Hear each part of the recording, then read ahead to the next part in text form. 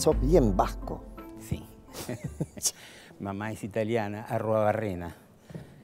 Pero arroba barrena. No, pero es súper vasco. ¿eh? Es vasco, Iribarne, arroba barrena. No, y vos sabés que tengo cuatro apellidos vascos. Iribarne Barrena y mis dos abuelas también descendientes de vascos, así que... Eh, vasco puro. Un productor vasco. ¿eh?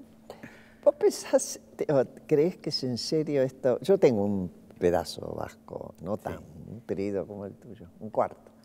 Este, que los vascos en serio son muy tosudos y que uno hereda esa cuestión de seguidor como perro de. Y algo de eso hay. Ay, ¿no? No sé si leíste el libro este de Aramburu. Patria. Patria. Esas mujeres sí que son tosudas, ¿no? a mí me hizo acordar bastante a nuestra propia historia, ¿no? La identificación con el ideal del hijo sin tener la más mínima idea de... Sí, sí, sí, eso es, tan, tan este, impactante porque uno lo vive y, lo ha conocido, y lo, ¿no? y, lo has vivido. estamos viviendo. Sí, lo estamos viviendo. Y lo estás viviendo.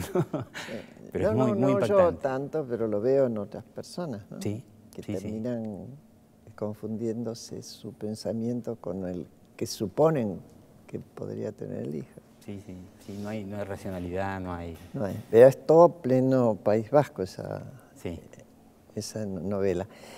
Y también, eh, obviamente, estuve mirando mucho de tu vida más allá de lo que conocía. Eh, bastante peleador cuando chico, ¿no? Un poquito. ¿Eras capaz de, desafiar a resolver los problemas a puñetazos? Sí, también. Qué época, ¿no? Qué época. Pero vamos cambiando, ¿no? O sea que yo creo que... Bueno, menos mal. Sí, sí, sí. Menos mal. Y te diría que el tema de la violencia, este, realmente sí creo que el nunca más violencia en Argentina es una cosa que la, la creo y creo que hay que transmitirlo y que la democracia es excluir la violencia como forma de resolver los conflictos. ¿Vos pensás que se rompió ese acuerdo? Yo creo que, hubo un consenso en el 83. Sí, sí. sí. Del nunca más, eso, la violencia estaba bien claro. Hoy, ¿vos ves que se rompió? No, no se rompió, pero hay rebrotes y una vez siempre lo mira con atención a esto, ¿no? Y mm. con preocupación. Eh, porque los que vivimos ¿no? toda la experiencia de los 70, de la monstruosidad que fue el, proceso de organización nacional, ahí aprendimos además a valorar la democracia, no, mm. solamente a, pensar que con la violencia no se resolvían los conflictos, sino que la democracia era mucho más que, que, una constitución, que era una forma de convivencia. ¿no? Y que, y también me parece que se aprendió en ese momento a, apreciar lo que eran los derechos humanos. Eran terminologías que... Absolutamente. ¿Cómo, ¿Cómo, aprendimos a valorar eso, no es cierto? O sea, este, las garantías, las libertades individuales, ¿no? Si cuando te falta eso, porque hasta ese momento no había sido, había habido, pero no una cosa sistemática, ¿no? De violación de todos y cada uno de los derechos, hasta las cosas horrorosas que pasaron. Y ahí revalorizamos, ¿no? Es decir, el valor de los derechos humanos, esa cosa que, este, digamos, es una base elemental para la convivencia entre todos nosotros, ¿no? Ese respeto irrestricto a los derechos humanos. A veces aparecen cosas, ¿no? Como decís vos, que, que parece que hubiera un retroceso, pero me parece que ese, ese consenso básico en el 99% de los argentinos este, sigue vigente, ¿no? afortunadamente. Sí, al menos vale la pena prestar atención y, eventualmente reaccionar, ¿no? Claro, eh, sí, sí, Desde donde uno puede. Sí, sí, estar atentos y como decís vos, ¿no? alertar y decir, ¿no? Sí, ojo, ojo, cuidado. Nos costó mucho. sí, sí, ojo con las consignas, ojo con las verbalizaciones. Con las reivindicaciones. Claro. Ojo con las reivindicaciones. Exacto, que después Vamos un poquito más a una época tuya muy activa en la política, cuando eras muy joven. Sí. Vos fuiste compañero de Felipe Solán eh, en, el colegio, sí, este, en el Colegio de Buenos Aires. Y, y, también en la militancia? ¿O estaban en distintas No, no, estuvimos bastante tiempo, no militábamos en el mismo lugar, ¿no es cierto? O sea, él, él estaba en agronomía, yo estaba en la Facultad de Derecho como que nos cruzábamos en la militancia, pero no, no, tuvimos una, participación concreta en, los mismos espacios, en la misma agrupación. Pero vos estabas en la Juventud Universitaria Peronista. Exacto, sí, sí, sí, sí. Estaba en la Juventud Universitaria, estuve... Este, en esa época además alternábamos la militancia universitaria con la militancia barrial. Claro. En esa época de los 70, eh, por ejemplo, participaba... En esa época se hacía el timbreo, pero el timbreo era una cosa totalmente diferente. ¿Con qué andábamos nosotros? Andábamos generalmente en parejas, por ejemplo en Munro, uno de los lugares que me tocaba timbrear, íbamos con una cinta, con esos viejos grabadores, ¿no? con, esas, con una cinta, con un mensaje de Perón. Tocamos el timbre y decíamos, mire, este, ¿quieren escuchar ustedes? A veces algunos nos atendían, otros Un Perón que estaba proscripto y fuera del país. Se estaba peleando por su retorno, estamos hablando del año 71, 72, 70. Y este, y realmente había una recepción extraordinaria ¿no? en la gente. O sea, uno decía, bueno, evidentemente estamos en la buena Y te hacían entrar y escuchaban Y te hacían entrar. Claro, pensá lo que es la seguridad hoy en día, ¿no es cierto? Y lo Ah, que era en ese momento. La no te seguridad. hubiera dejado nadie. entonces. en este el timbre, te corres. eh, te, te hacían pasar. A algunos no les interesaba, pero Sí, gente claro. que le interesaba, participaba, escuchaba la cinta, comentaba. Este, sí, era una época... eh, empezaba a surgir la violencia, ¿no es cierto?, en Mm. esos años. Eh, Que bueno, fue el, el asesinato de Aramburu. Exacto, el 70. asesinato de, de Aramburu, que en, es- en ese momento nosotros dijimos el ajusticiamiento de Aramburu, Mm. ¿no? porque ese era el clima de época. Este, veníamos de una violencia que había sido, bueno, la violencia desde, desde el peronismo, lo que había sido los, los bombardeos del 16 de junio, en- Sí, el con 55. más de 300 muertos, lo que habían sido los fusilamientos del 56. Entonces, en este clima de violencia, de violencia quizás limitada, apareció el asesinato de, Aramburu.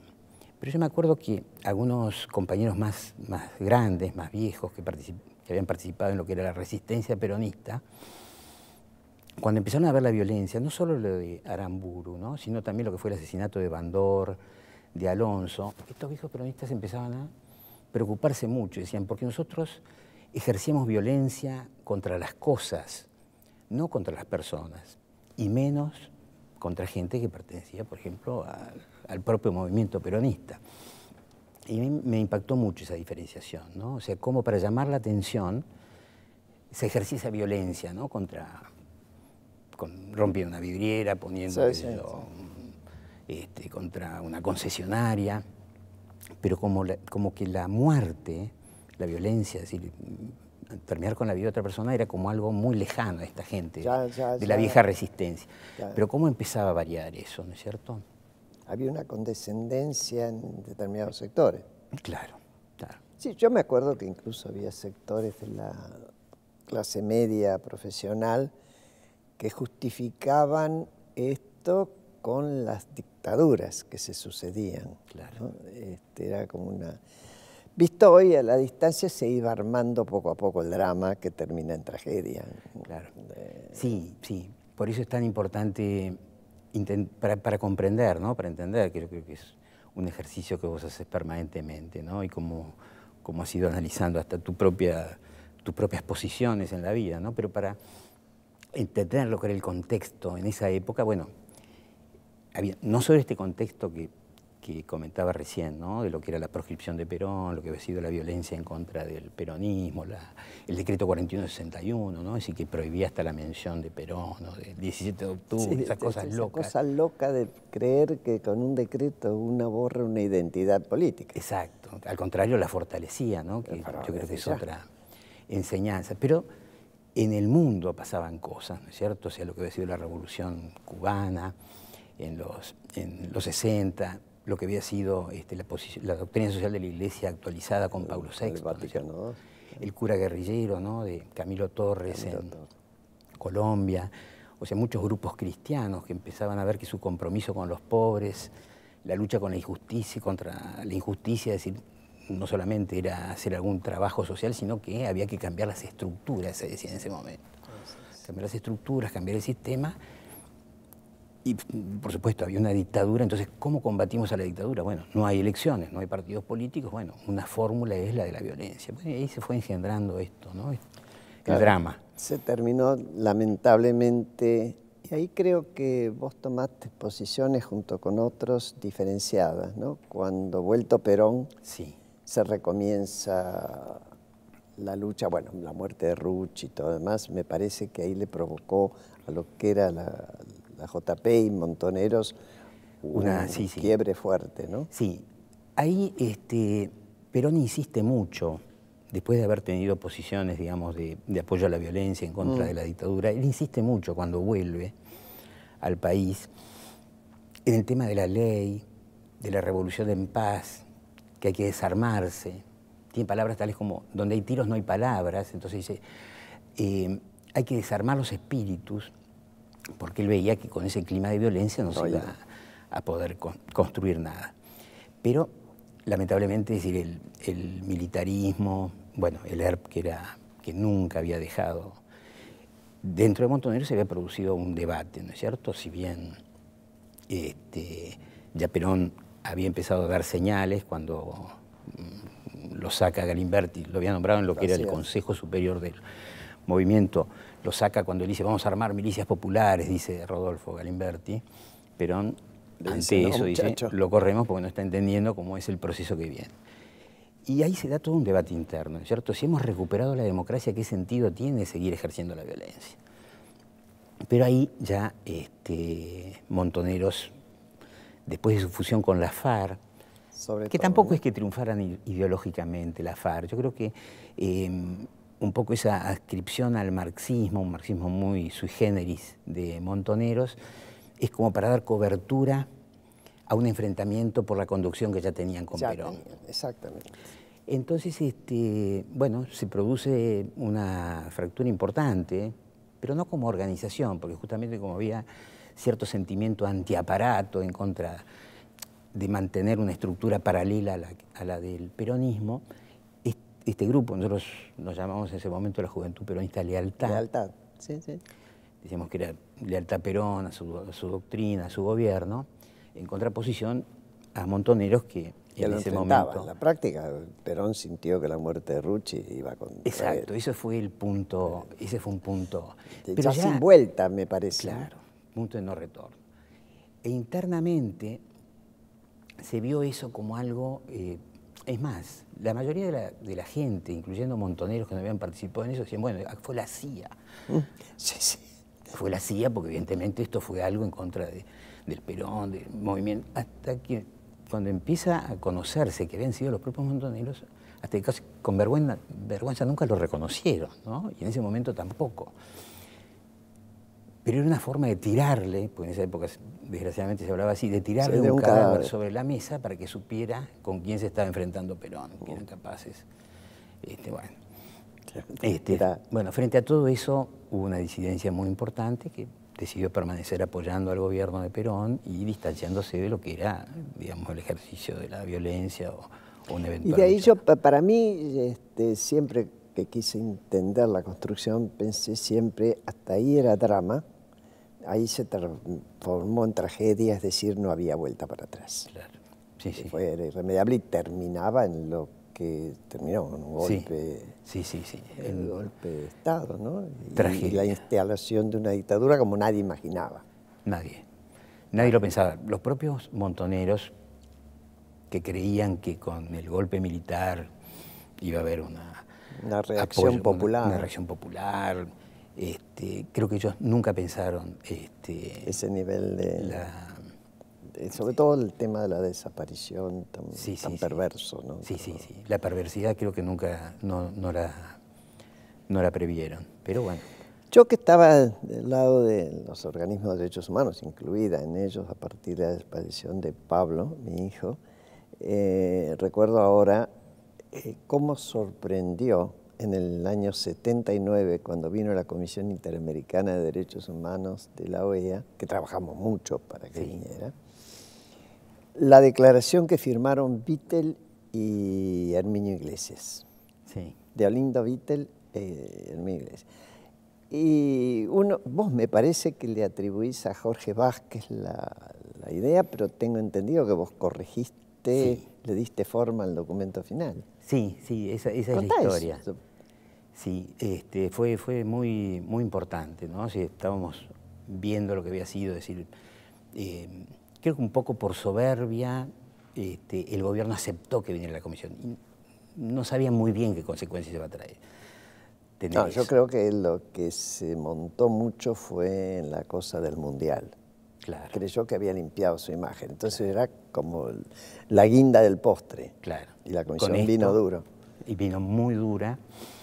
Y bueno, ahí hubo, no había mucha gente que participara en política dentro del peronismo en ese momento. Hubo debate, hubo debate porque no.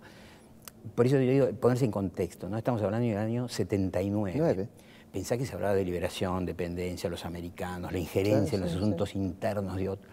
La cosa antiimperialista estaba muy fuerte. Exacto. En ese momento, plantear nosotros que venía una comisión interamericana, una comisión de la OEA, del Ministerio de Colonias de Estados Unidos, como se decía en alguna época, y que íbamos a presentar un documento, gente inclusive bien intencionada, o sea, que no eran ni amigos de los represores, pero no, pero...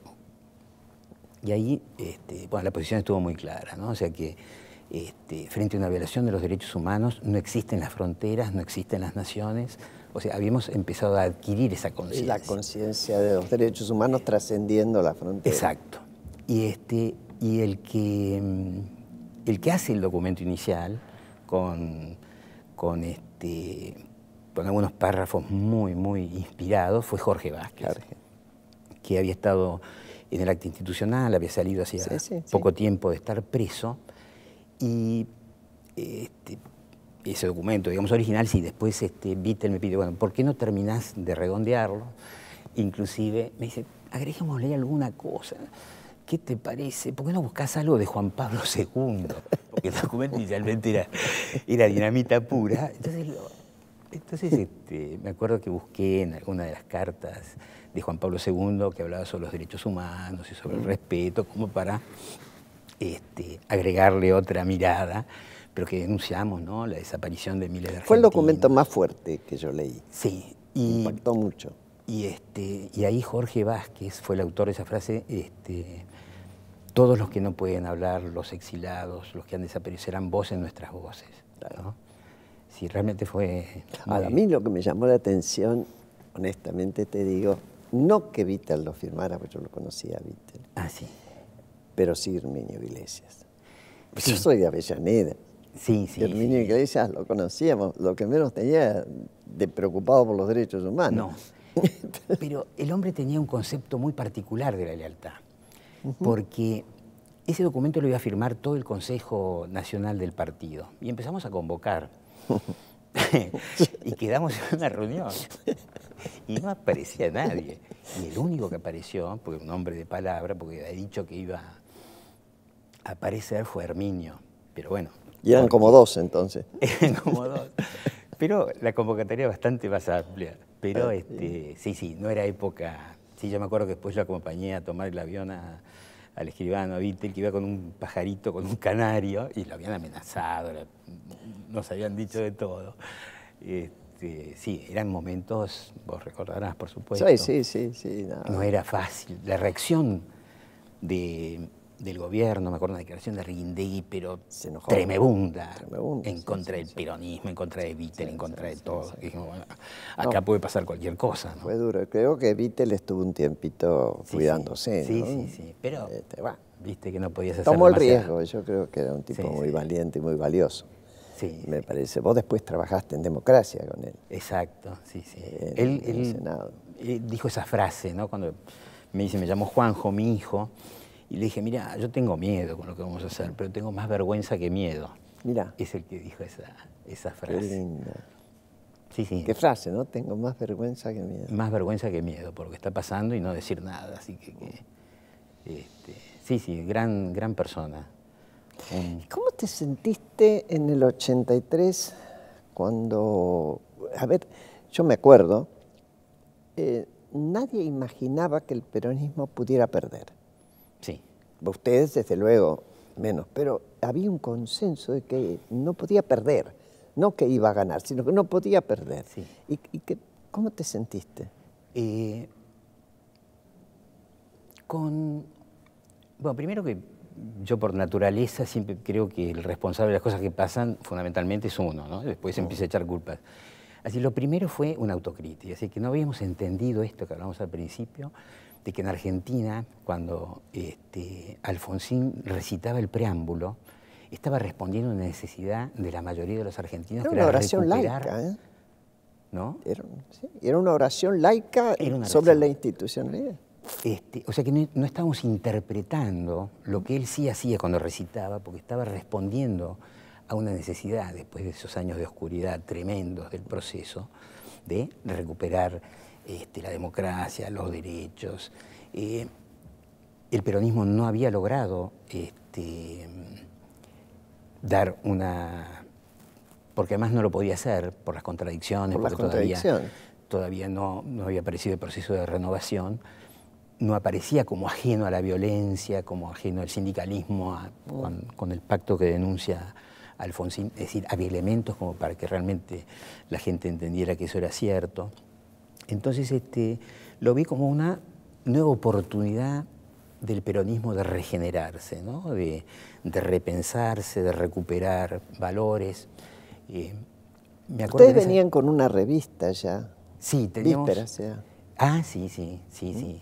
Primero, en el 76 empezamos a sacar un, diarito de, circulación entre los compañeros, que lo hacíamos con Norberto Ivancich. Sí.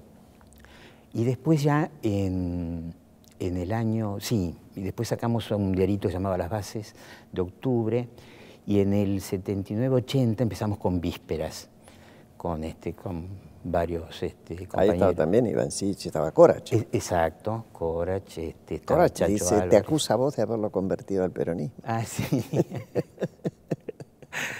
sí, sí, sí, es verdad.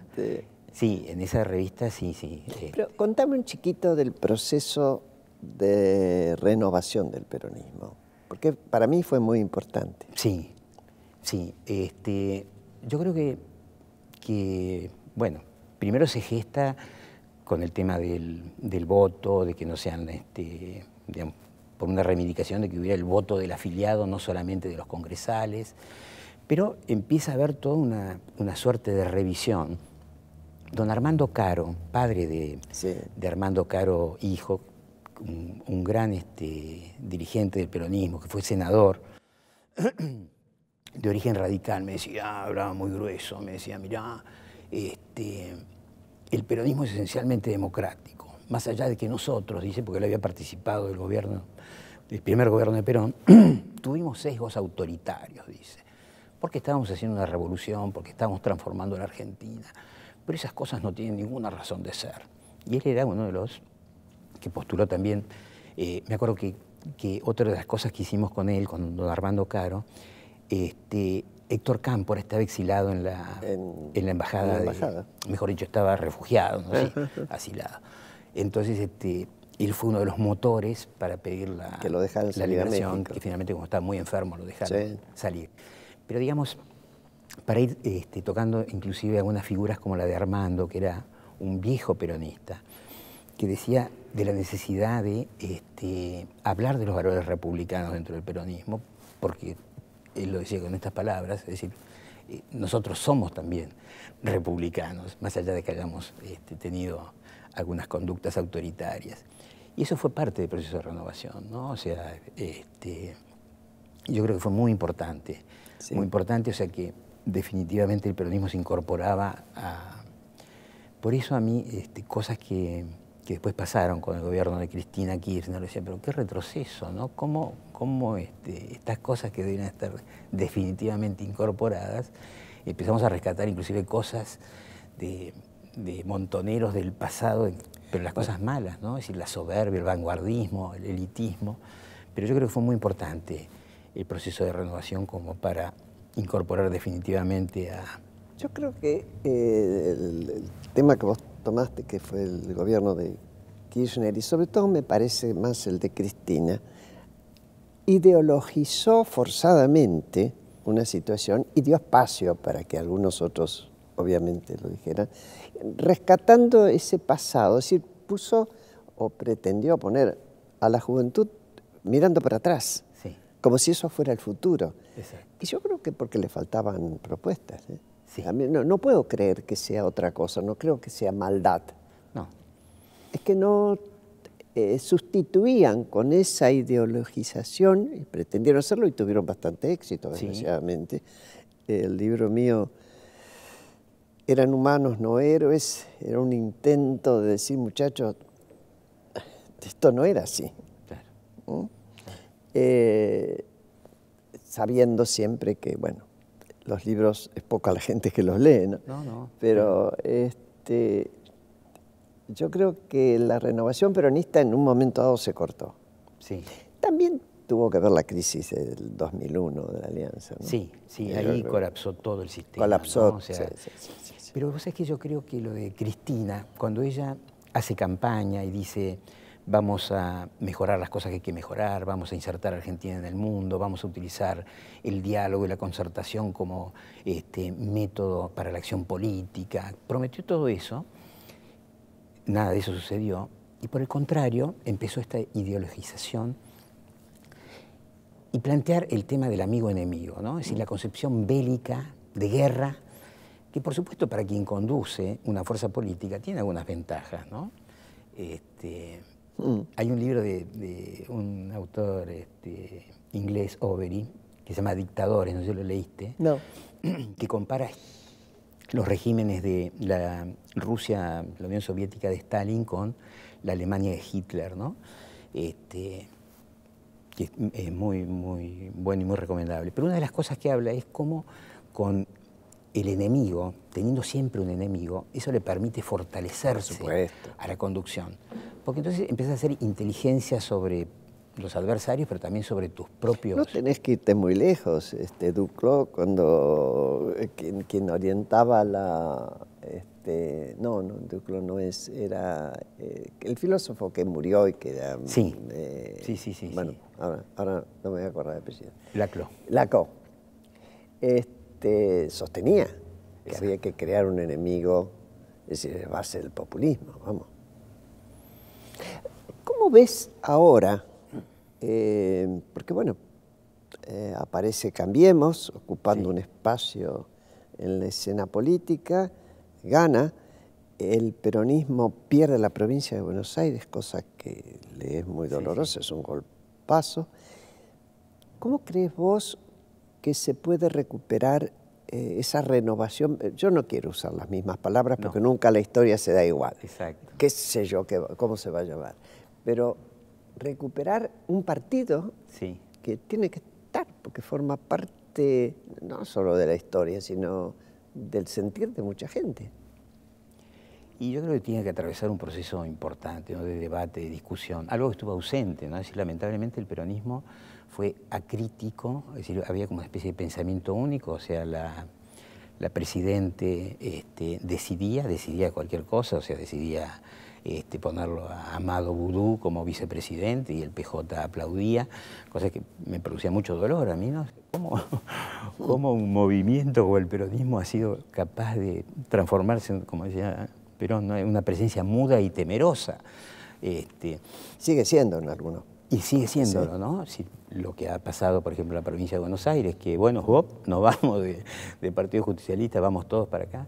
Es una mezcla de, sí, de oportunismo. O sea, realmente creo que debe haber dirigencia joven, muchos que no conozco, algunos que veo con algún interés que supongo que se van a rebelar contra esto, ¿no? Porque realmente es un papel... Hay un, como un retiro de gobernadores, ¿no? sí, sí, los gobernadores, en la provincia creo que hay... Este, el caso de Randazzo, más allá de eso, me, me parece siempre un dirigente interesante, pero bueno, creo que tienen que que recorrer un camino. ¿Vos no estás trabajando en política ahora? En este momento no, no. ¿Lo harías? Estoy, sí, viste que esto es algo que nunca se pierde, ¿no? O sea, siempre estoy, estoy atento, me reúno, pero digamos orgánicamente no estoy trabajando. Este, no, sí, alertando con unas cosas esto que yo creo que mucha gente del peronismo no está en lo mismo, ¿no? O sea, yo creo que el tema este de la confrontación amigo-enemigo hay que más allá que en el gobierno también puede haber alguna tentación. Yo creo que estar en el poder es muy tentador de eso. ¿eh? este, para alinear la tropa, decir, bueno, acá no se discute, pero fíjese que podríamos hacer tal cosa, no, eso no se discute porque estamos en una cosa mucho más importante, bueno, eso es lo que decía Cristina, ¿no? Estamos en una guerra contra Clarín, que me vienen a plantear si se roba, si hay una irregularidad, si estamos en una guerra y estamos haciendo la revolución.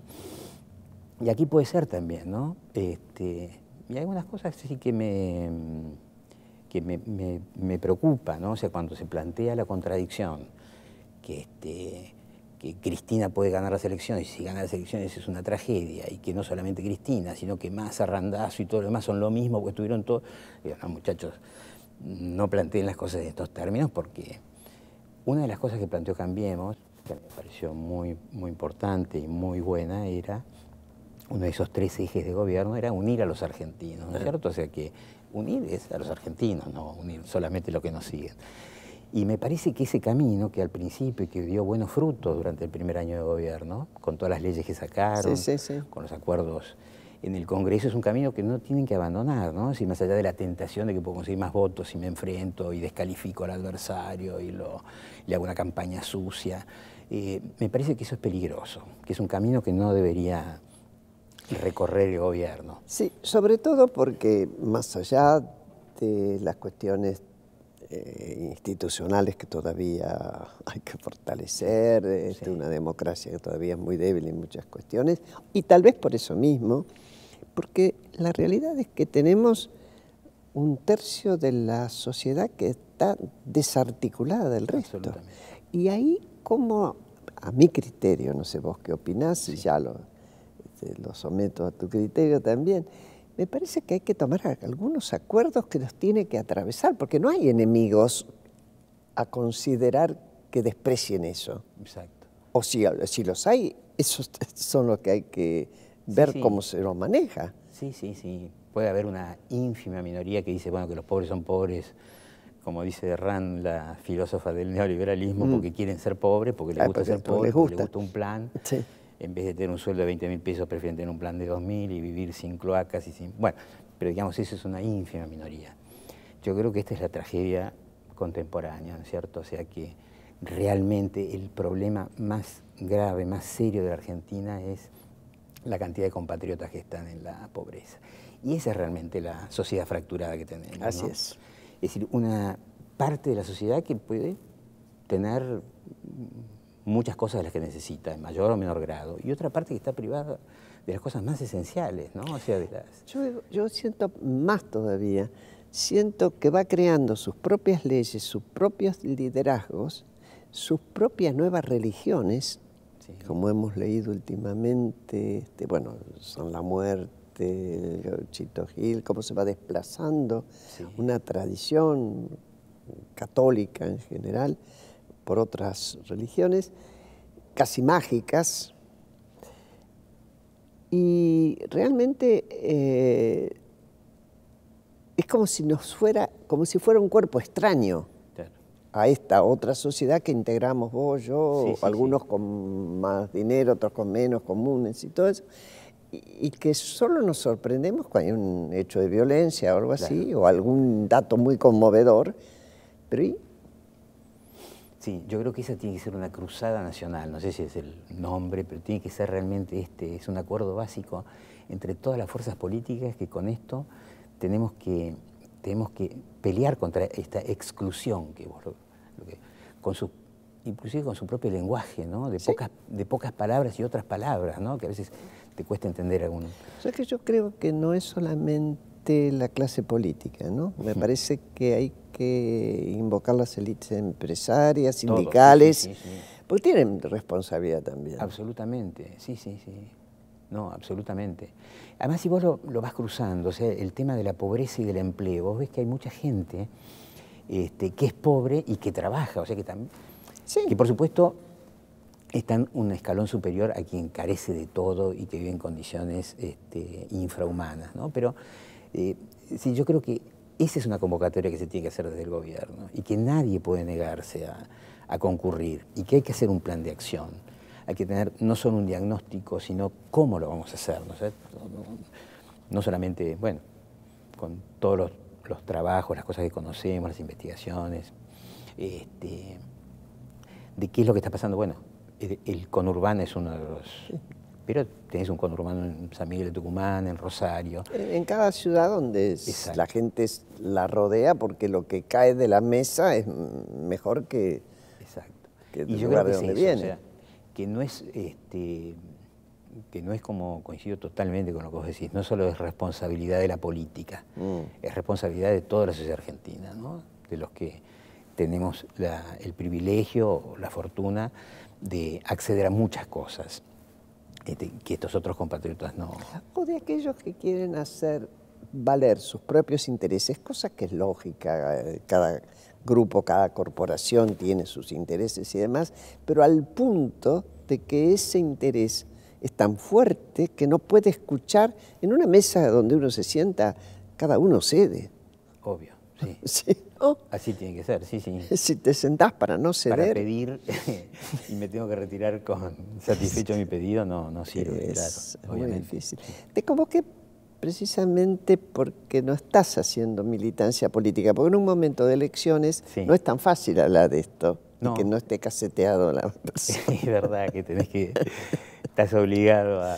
Claro, este, por esto, estas charlas así. Yo creo que, a ver, es inevitable, previo a unas elecciones, es inevitable.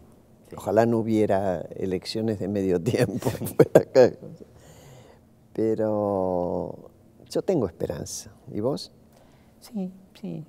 Eh, creo que la situación es muy difícil. Este, y después, realmente, si la situación que, tuvo que enfrentar este gobierno era muy seria, y es verdad, pero no solamente pasa en Argentina, en la política, es decir, cuando no pasó algo, vos decís, no, lo que podría haber pasado, la contrafáctica es muy difícil de demostrar.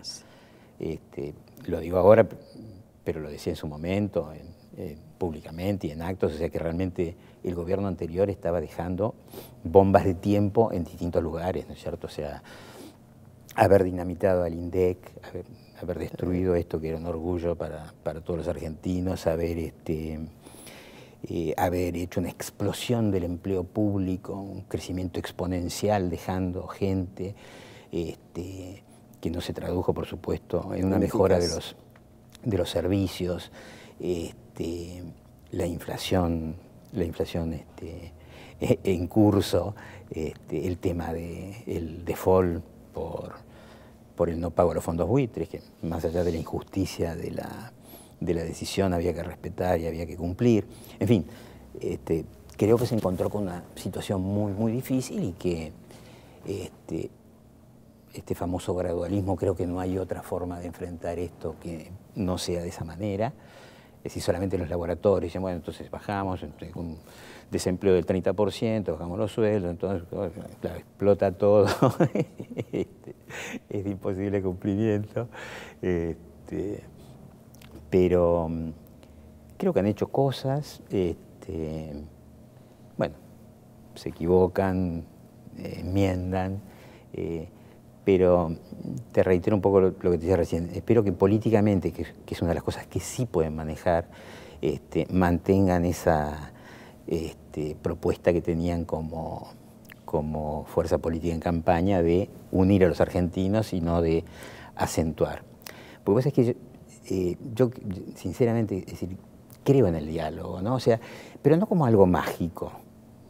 Vos recién lo decías cuando vas a una mesa, es decir, no es que con buena voluntad nos vamos a juntar todos, no, no. Yo creo que hay intereses, hay este, grupos de interés, porque además es así, una sociedad plural este, sería muy raro que no existiera, sería una sociedad, digamos, con un régimen totalitario que no se pudiera expresar nadie. Pero en lo que no creo es en que este, no puedan superarse conflictos y, este, y lo que realmente me parece muy mal es inventar conflictos donde no existen. ¿no? Entonces, eh, me parece que esa es una herramienta que tiene que seguir utilizando el gobierno y que forzosamente lo va a tener que hacer ¿no? después de las elecciones, porque este, la vida va a continuar, como decís vos, después de la elección de medio término, va a tener que sacar leyes, se va a tener que consensuar. Por eso es este, bueno que no, no se, más allá de las campañas, de la campaña electoral, no se acentúen las contradicciones, ¿no? O sea, que no se, que no se llegue a una confrontación este, en que después sea difícil, de la que sea después difícil volver, ¿no es cierto?